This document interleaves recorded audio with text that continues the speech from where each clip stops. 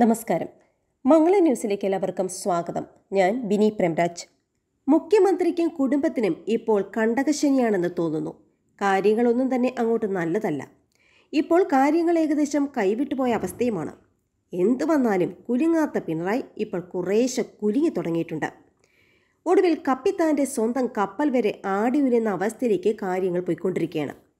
മുഖ്യമന്ത്രി പിണറായി വിജയന്റെ മകൾ വീണയുടെ ഉടമസ്ഥതയിലുള്ള എക്സോലോജിക്കുമായി ഇടപാടുകൾ നടത്തിയ സി എം ആർ എൽ കമ്പനിയുടെ ആലുവയിലെ കോർപ്പറേറ്റ് ഓഫീസിൽ റെയ്ഡിൽ കിട്ടിയത് നിർണായക രേഖകളും പരസ്പര വിരുദ്ധ മൊഴികളുമാണ്. ഇതെല്ലാം വിലയിരുത്തി എസ് എഫ് ഐ ഒ അടുത്ത ഘട്ടത്തിലേക്ക് കടക്കും. പിടിച്ചെടുത്ത രേഖകൾ എൻഫോഴ്സ്മെന്റ് ഡയറക്ടറേറ്റും പരിശോധിക്കും. വീഴ്ചകൾ തെളിഞ്ഞാൽ അവരും കേസെടുക്കും. മാസപ്പടിയിൽ അന്വേഷണത്തിൽ വീണയെയും സി എം ആർ എൽ ഡയറക്ടർമാരെയും ചോദ്യം ചെയ്യാൻ സാധ്യത ഏറെയാണ്. റെയ്ഡ് ഇന്നും തുടരും. തിങ്കളാഴ്ച രാവിലെ ഒൻപത് മണിക്ക് ആരംഭിച്ച പരിശോധന വൈകിട്ട് മൂന്ന് വരെ നീണ്ടു. S F I O deputy director Arun പ്രസാദിന്റെ നേതൃത്വത്തിലുള്ള സംഘമാണ് എത്തിയത്. പരിശോധനാ സമയത്ത് ജീവനക്കാർക്ക് ഫോൺ ഉപയോഗിക്കുന്നതിൽ വിലക്ക് ഏർപ്പെടുത്തിയിരുന്നു വീണയുടെ കമ്പനിയുമായി നടത്തിയ പണമിടപാട് സംബന്ധിച്ച് ജീവനക്കാരുടെ മൊഴിയെടുത്തു. രേഖകളും ശേഖരിച്ചതായാണ് വിവരം. ഐ ടി സേവനത്തിന്റെ പേരിൽ ഒന്ന് ദശാംശം ഏഴ് രണ്ട് കോടി രൂപ സി എം ആറിൽ വീണയുടെ കമ്പനിക്ക് നൽകിയതാണ് വിവാദമായത്. കേസിന്റെ ഗുരുതര സ്വഭാവം കണക്കാക്കി കേന്ദ്ര കോർപ്പറേറ്റ് കാര്യ മന്ത്രാലയമാണ് എസ് എഫ് ഐ ഒയ്ക്ക് അന്വേഷണം കൈമാറിയത്.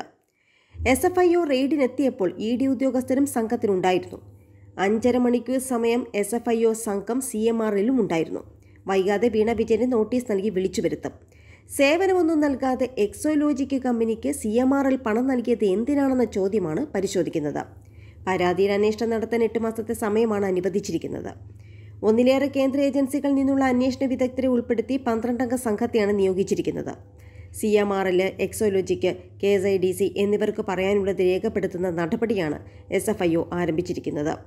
ആദായ നികുതി വകുപ്പ് ഇന്ത്യൻ സെറ്റിൽമെന്റ് ബോർഡിന് മുൻപാകെ C M R L company chief finance ഓഫീസറും മറ്റ് ജീവനക്കാരും നൽകിയ മൊഴികളിലെ വസ്തുതകൾ അന്വേഷണത്തിന് മുന്നോടിയായി എസ് എഫ് ഐ ഒ ശേഖരിച്ചിട്ടുമുണ്ട്.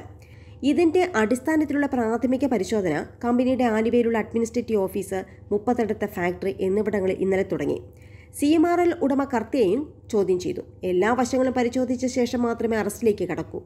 ആദായ നികുതി വകുപ്പിന് C M R L company സമർപ്പിച്ച കണക്ക് പ്രകാരം രണ്ടായിരത്തി പതിനാറ് മാർച്ച് മുപ്പത്തൊന്നിന് എഴുന്നൂറ്റി എഴുപത്തിരണ്ട് ദശാംശം നാല് നാല് ലക്ഷം രൂപയുടെ നഷ്ടമുണ്ടായിരുന്ന കമ്പനി രണ്ടായിരത്തി ഇരുപത്തി മൂന്ന് മാർച്ച് മുപ്പത്തി ഒന്നിന് ഏഴായിരത്തി മുന്നൂറ്റി മുപ്പത്തി ആറ് ദശാംശം എട്ട് രണ്ട് ലക്ഷം രൂപയുടെ അറ്റാദായം നേടി.